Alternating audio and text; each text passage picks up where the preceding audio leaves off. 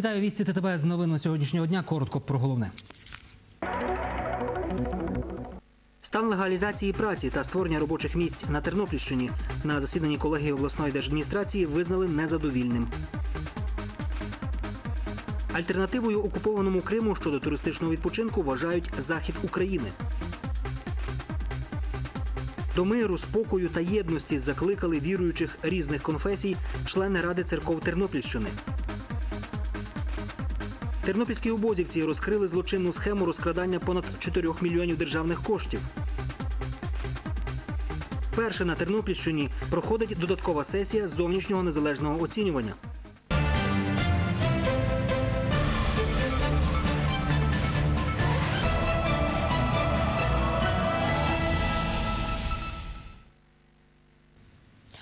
Управління по-новому в Україні готують нові підходи до співпраці уряду з народом. Зокрема, йдеться про електронне врядування.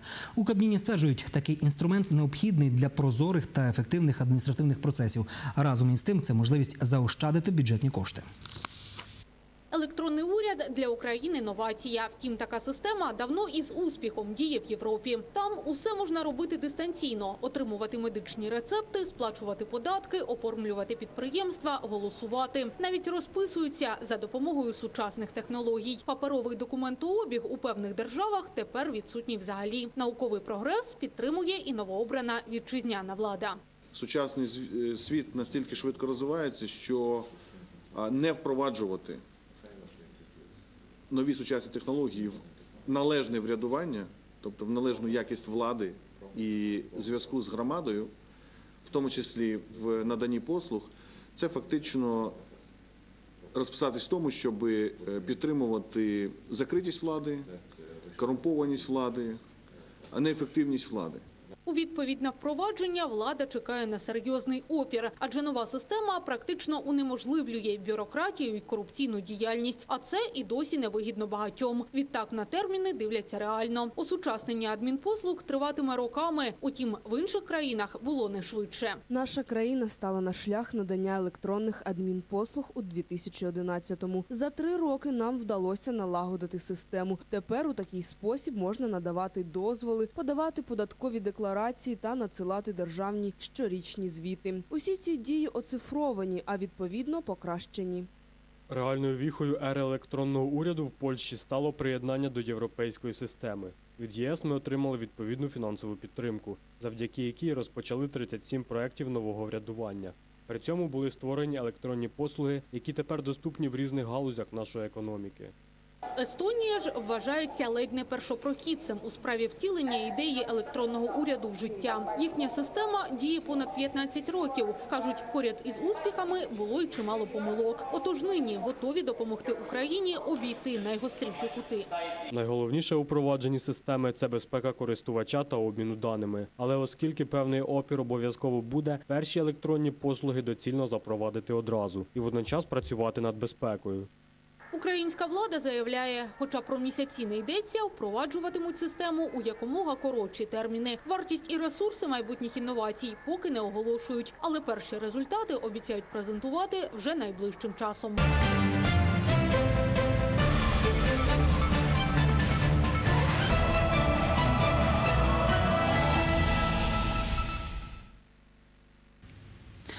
На Тернопільщині найвищий рівень безробіття в державі. Як подолати це явище, йшлося на засіданні колегії обласної державної адміністрації. Під час колегії розглянули питання про екологічну ситуацію в області та шляхи її стабілізації, про реалізацію прав та законних інтересів дітей. Рівень зарплат в області часто нижче мінімального. На одне робоче місце в середньому претендує сім спеціалістів. В області треба створити 12 тисяч робочих місць, щоб досягти середнього в Україні показника. Пропонували залучити в кожному районі кілька проєктів, щоб отримати міжнародні інвестиції, а також працювати з місцевими підприємцями. Нам потрібно зараз всім разом думати, реально як не втратити ті робочі місця, що є. Для цього ми повинні підтримати наш малий і середній бізнес, який є в Тернополі. Більшість підприємців і досі в тіні. Інспектори праці повинні попереджувати роботодавця за 10 днів до перевірки, тому контроль неефективний. Стан легалізації праці та створення робочих місць в області визнали незадовільним. смішний показник 100 легалізованих місць. Я вам наведу тільки один приклад. Добувна галузь Тернопільської області це 800 робочих місць на 150 кар'єрів. Хто з вас тут сидячих повірить в те, що на кар'єрі може бути задіяно 4 чоловіка? Напевно, ніхто. Особлива увага працевлаштуванню молоді соціально незахищених людей з особливими потребами. Люди з обмеженими можливостями роками шукають роботу, не можуть її знайти, то центр зайнятості мав би взяти їх до себе на роботу в штат. Якщо він не спроможний їм знайти роботу, значить повинен дати можливість працювати в центрі зайнятості структурних підрозділів. В області є ряд проблем із забруднення навколишнього середовища. 70% викидів від автотранспорту. Найактуальніша проблема – забруднення поверхневих вод. За роки незалежності в краї збудували лише дві очисних споруди. Лише одне сміттєзвалище в області паспортизоване та експлуатується з порушеннями. Тверді побутові відходи мають утилізуватися згідно з міжнародними стандартами. Екологи занепокоєні будівництвом нових промислових об'єктів. На сьогоднішній день органи екології повністю усунуті від чинним законодавством від важелів впливу на, майбу... на будівництво нових об'єктів. І маємо такі приклади. Будується переробне підприємство, про яке тривалий час говорили, що це одне з найбільших в Європі, хвалилися. А коли ми попробували втрутитися якимось чином питання поводження з відходами того виробництва, сказали нам зась. Ви законом в цій сфері не передбачені. Допомогти захистити кожну дитину можна лише у співпраці органів опіки, влади, місцевого врядування. У кожної дитини має бути родина. Утримання в дитячих будинках сімейного типу або в сім'ях піклувальників обходиться державі в півтора рази дешевше, ніж в інтернаті. Під час колегії наголосили на тому, що в області поширене явище соціального сирітства. Встановити, скільки батьків виїхали за кордон, важко. Голів районних адміністрацій за сприяння органів юстиції просять поновити соціальні паспорти районів. Також наголосили на необхідності надати допомогу сім'ям з Криму та південно-східних областей України. Соціально-економічні питання краю розглядатимуть завтра на другому пленарному засіданні 50-ї сесії обласної ради.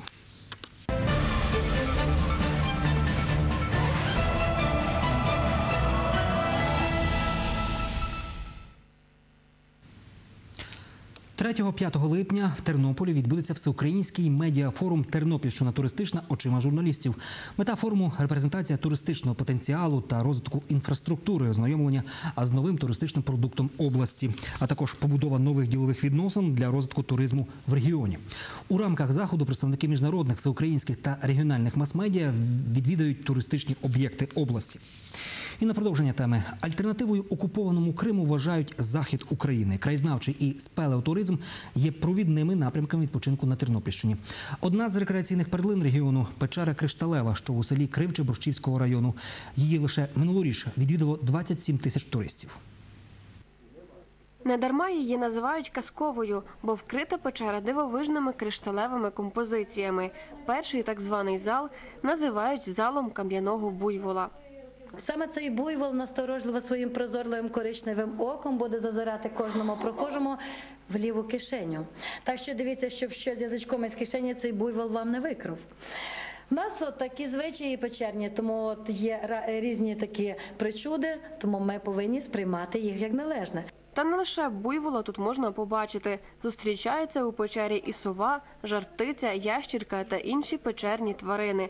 Ми стукали у підземний барабан, віталися з володарем печери, перевіряли талію у найвужчому проході і навіть лікувалися. Ми стоїмо біля каменя, який називають анальгін. Вважають, що він знімає головний біль. Печера Кришталева геологічна пам'ятка природи загальнодержавного значення.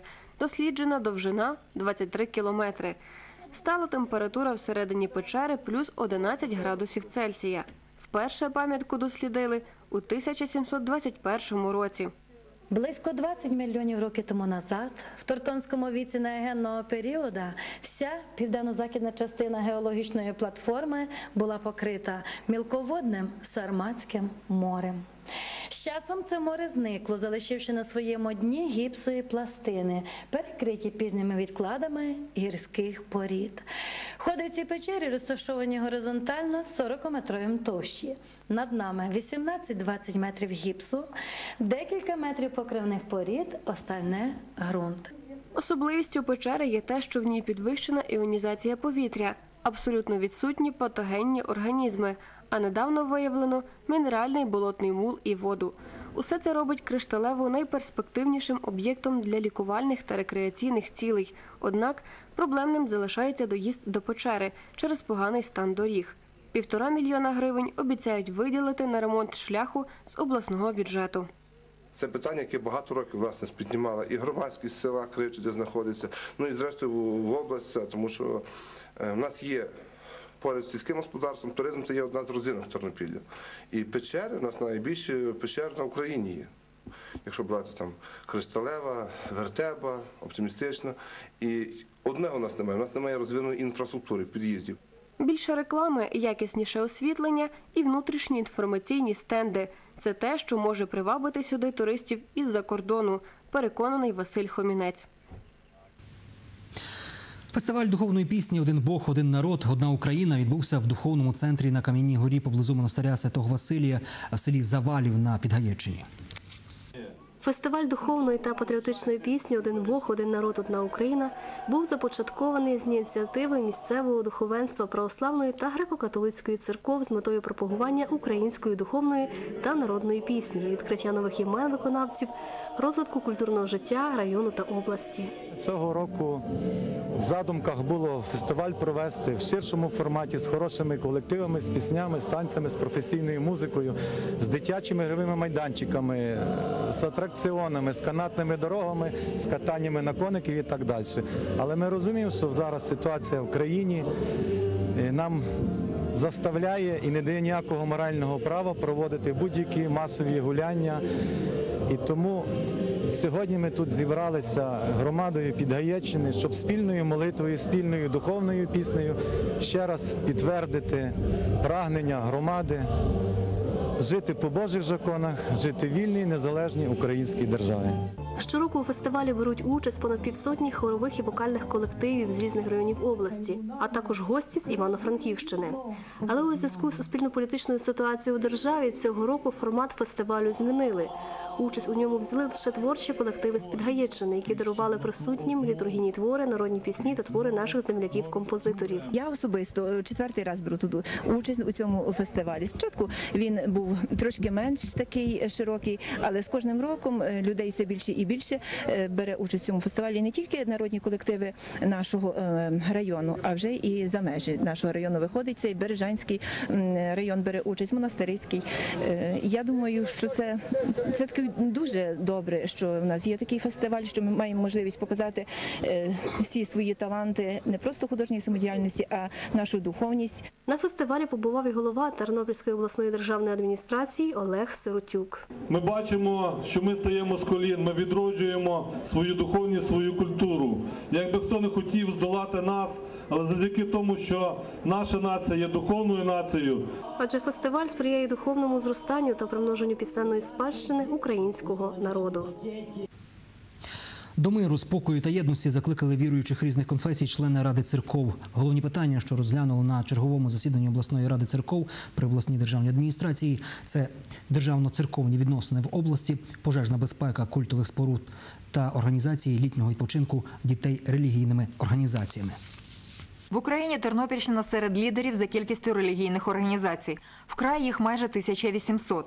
Більше лише на Львівщині. Йшлося про удосконалення механізму реєстрації нових громад. В області продовжує зберігатися тенденція до збільшення кількості релігійних громад, яка проходить швидшими темпами, ніж е, забезпечення їх культовими будівлями та адміністративними приміщеннями.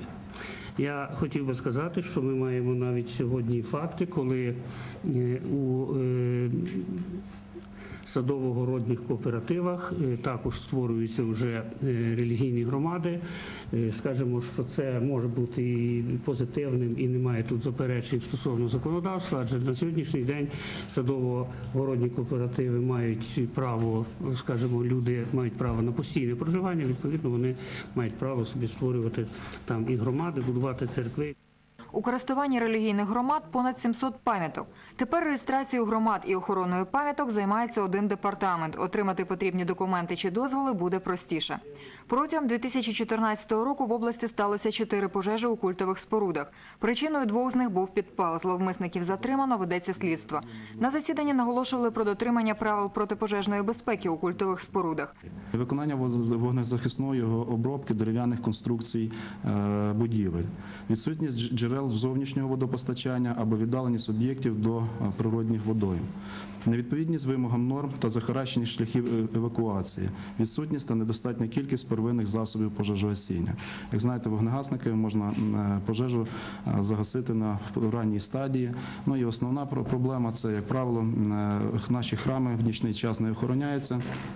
Після вечірніх богос- богослужінь свічка, яка може бути залишена, приводить е, до е, займання е, дуже довгий час від моменту виявлення пожежі до моменту повідомлення і пробуття наших підрозділів. За цей час іде вільний розвиток пожежі. Духовне і фізичне здоров'я наших дітей – запорука майбутнього. Оздоровити усіх бажаючих неможливо через брак коштів. Українська греко-католицька церква створила найбільшу мережу оздоровчих таборів. Священники різних конфесій просили представників влади сприяти у розбудові духовних дитячих таборів в Україні і на Тернопільщині зокрема. Голова обласної державної адміністрації Олег Сиротюк подякував представникам релігійних громад за допомогу українській армії, зокрема гуманітарну з-за кордону. Я хочу сказати і подякувати кожному з вас, е, духовним особам, які впродовж останнього періоду часу зробили дуже багато для миру і спокою в нашій державі. Напевно, що ніхто так добре, як ви, не знаєте, чому е, розпочалися революційні події і в нашій державі. Тому що люди, які живуть на нашій землі, вирішили, що можна жити проти заповідей Божих, можна нахтувати Божими законами. І, власне, оці злочинці, які були у владі, вони отримали спротив е, людей, які хотіли справедливості.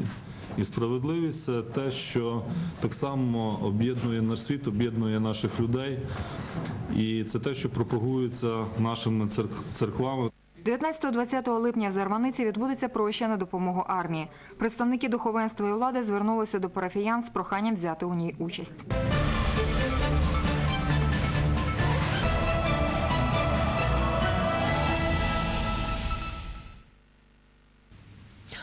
Завершилася основна сесія зовнішнього незалежного оцінювання, і вперше на Тернопільщині проходить додаткова сесія ЗНО.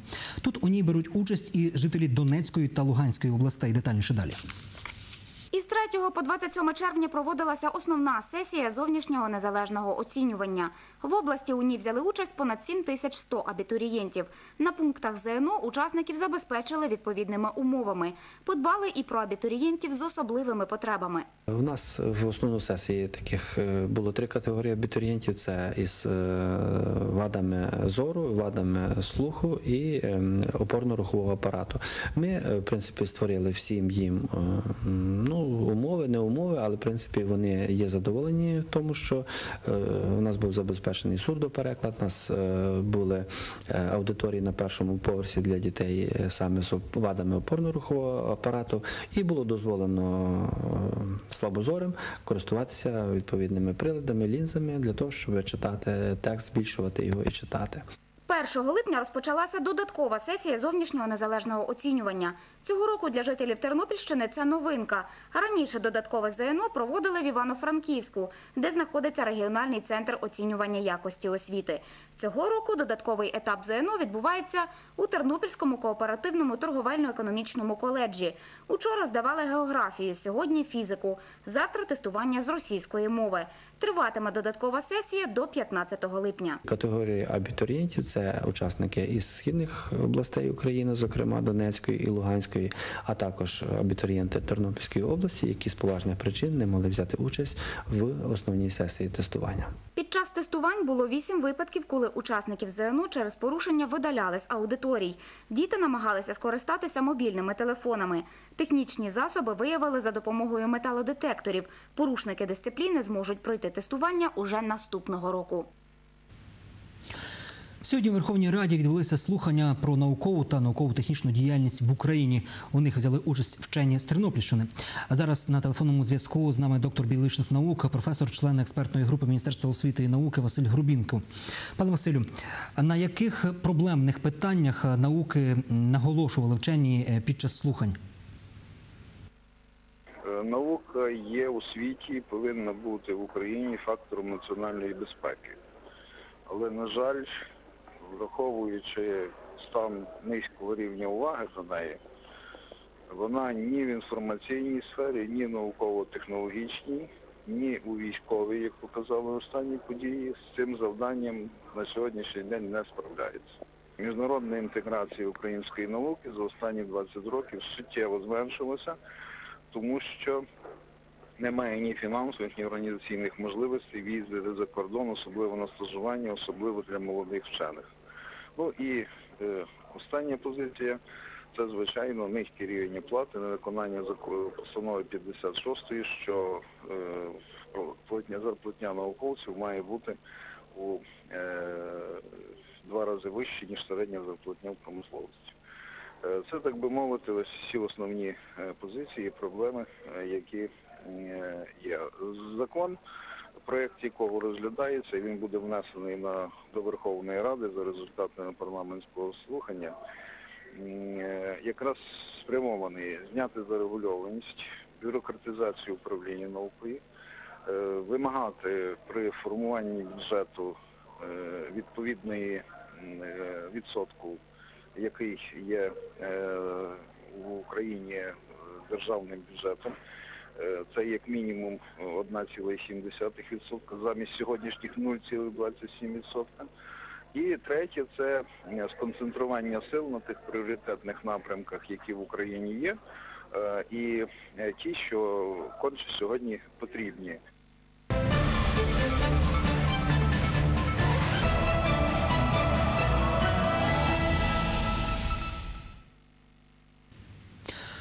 Початку тижня рятувальники вже чотири рази виїжджали гасити пожежі, які виникали в екосистемах Тернопільщини через необережне поводження з вогнем. Тому управління Державної служби з надзвичайних ситуацій України в області закликає громадян відмовитися від спалювання сухої трави та інших рослинних залишків. З настанням літнього пожежонебезпечного періоду зростає кількість пожеж, які виникають на відкритій території. Горить суха трава, сміття та інші відходи. Такі пожежі особливо небезпечні тим, що вони можуть поширюватися на великі території і загрожувати підпалом господарським будівлям, житловим будівлям та іншим об'єктам. З початку тижня рятувальники вже чотири рази залучалися до гасіння подібних пожеж. 29 червня у селі Острів Тернопільського району спалахнула трава на відкритій території. Також 30 червня у Тернополі горіла трава на відкритій території та сміття по вулиці Поліській та по вулиці Тролейбусній. Е, 1 липня виникла пожежа сміття на Малашівському сміттєзвалищі. Рятувальники застерігають громадян бути обережними під час користування відкритим вогнем, е, не спалювати суху траву та рослинні залишки та побутові відходи. Адже кожен такий підпал він несе за собою загрозу перекидання вогню на інші об'єкти та завдає великої шкоди навколишньому середовищу. Тернопільські обозівці розкрили злочинну схему розкрадання понад 4 мільйонів гривень державних коштів. Відеоматеріал сектору зв'язків з громадськістю УМВС України в Тернопільській області. Співробітники відділу боротьби з корупцією УБОС УМВС України в Тернопільській області викрили посадових осіб одного із районних лісових господарств. Утворили фіктивну фірму, з якою уклали договір на виконання лісозаготівельних робіт. Е, Усвідомлюючи те, що дані роботи тою фірмою не будуть виконуватись, оскільки на даному підприємстві відсутня як матеріальна база, так і відсутні трудові ресурси на виконання тих видів робіт. Вони все ж таки е, укладали договір і відповідно акти виконаних робіт. В результаті підписання тих фіктивних актів виконаних робіт з державного підприємства в період з 2011 по 2014 рік було перераховано суму понад 4,5 мільйони. До числа співзасновників фірми входили як самі посадовці державного лісового господарства, так і їхні родичі. Шестеро нечистих на руку чиновників викрито. Під час обшуку правоохоронці вилучили них бухгалтерські документи, акти виконаних робіт та іншу документацію, яка підтверджує здійснення незаконних оборудок створеною ними фірмою. На даний час е, проводиться розслідування даного кримінального провадження. Встановлюються всі особи причетні до, до цієї схеми розкрадання державних коштів. Їм інкримінують частину 5 статті 191 Кримінального кодексу України.